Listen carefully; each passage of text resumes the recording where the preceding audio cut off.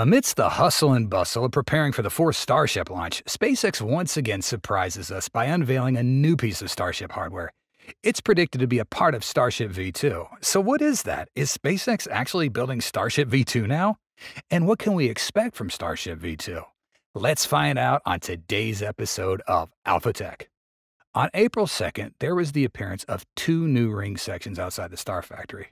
Well, can you guess what they are? It's really fascinating could be a part of the next iteration of Starship. We can see that they differ from the current design. Firstly, there's a difference in the number of rings. Now the cargo section of Starship consists of five rings. But looking at the picture, we can only see three to four rings, indicating a reduction. It's predicted that SpaceX is shortening the cargo section to build a longer Starship. Next, the dispenser was cut with a round seam instead of a solid ring as before. The reason for this change is unclear, but it might be because the dispenser has been relocated lower than its previous position on the payload compartment. This design change is predicted to potentially facilitate the loading and unloading of cargo and create favorable conditions for deploying payloads more easily. In addition to the potential change, another significant alteration is the dispenser in the cut shape. Previously, it had an angular shape, but now it's been modified into a rounded shape.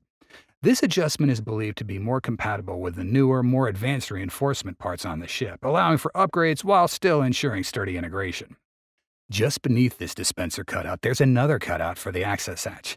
If this hatch is indeed positioned directly below the dispenser, it indicates that it's been relocated higher. In the current version, the access hatch will be situated approximately two rings below the dispenser, just above the forward dome section of the fuel tank.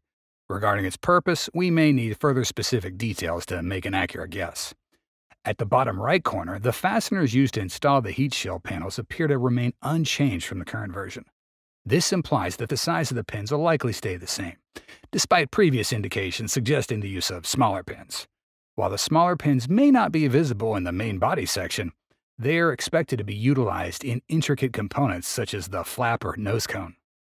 Furthermore, there is another rounded cutout situated on the right side of the door. This cutout could potentially serve as the connection point for the chopstick mechanism, which is responsible for lifting the ship. Previously, this connection point was in proximity to the nose cone, suggesting that SpaceX might have relocated it to a lower position. This adjustment will likely contribute to maintaining balance when the chopstick lifts the larger Starship in the new version. To be honest, these details make us feel excited and hopeful for a potential new version in the future. But we still have to think that this is just speculation. SpaceX could upgrade even more than we think with the new rings unveiled in the future. Hopefully, SpaceX soon confirms these changes. However, there are certain features like Starship V2 which will surely improve upon Starship V1 as promised by Elon Musk.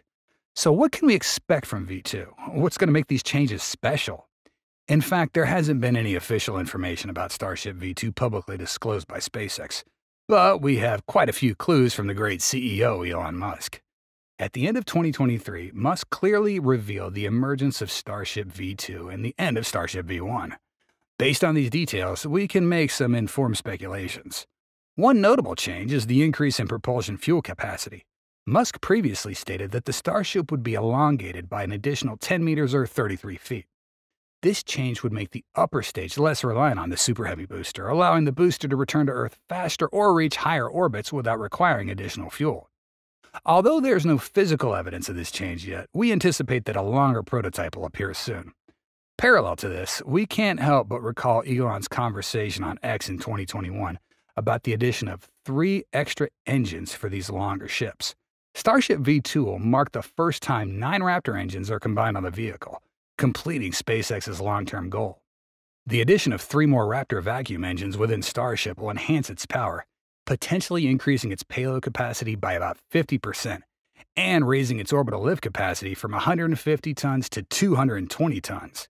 By expanding the number of engines and extending the propellant tanks to hold more propellants, SpaceX aims to enhance Starship's capabilities for various space missions.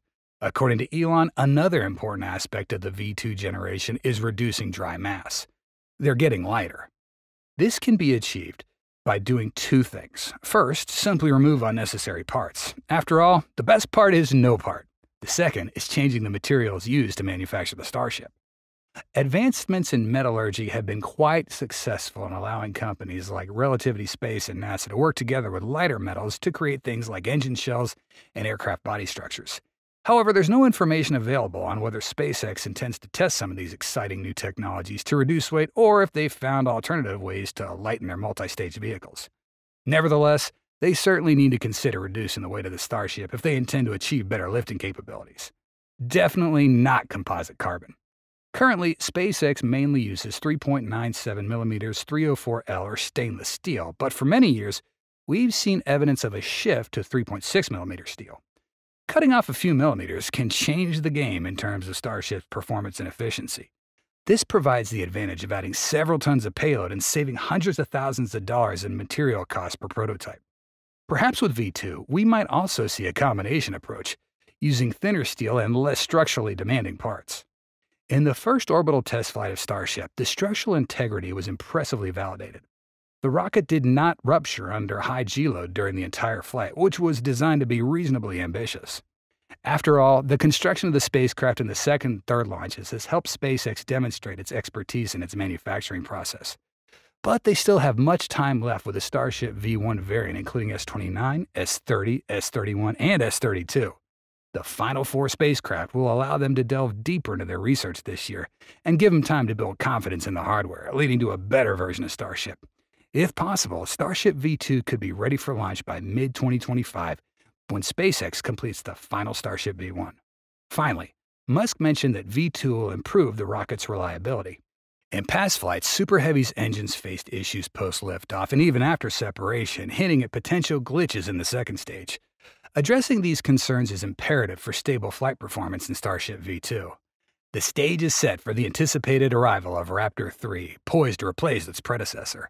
These new engines will have increased thrust and specific impulse, meaning Raptor V3 may be even more powerful and efficient. The existing Raptor 2 engines deliver 230 tons of thrust, while the anticipated thrust from the upcoming Raptor 3 engine is approximately 269 tons, signifying a 17% enhancement.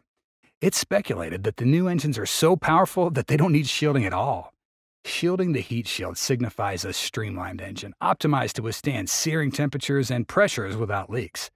This strategic upgrade aims to sidestep engine failures, reduce excess weight, and enhance engine gimbal flexibility. This could be a significant cost savings for future prototypes. In general, the emergence of Starship V2 has marked a new milestone on SpaceX's future path. With the capabilities of the new version, it'll certainly significantly enhance performance and accomplish even greater goals. While some enhancements have been hinted at, there's a promise of more revelations on the horizon. SpaceX seems pressed for an official version to undertake critical missions, such as lunar landings and the ultimate goal of reaching Mars. The anticipation for Starship V2 is palpable. Following the sequence of test flights, including the second one, SpaceX gears up for subsequent missions where the spotlight might shine on the more robust Starship V2. With this upgraded iteration, carried dreams and aspirations in space exploration will soar, carrying the collective hopes of SpaceX and humanity into a realm where numerous obstacles await. That's all for today's episode. Thank you so much for watching and see you next time.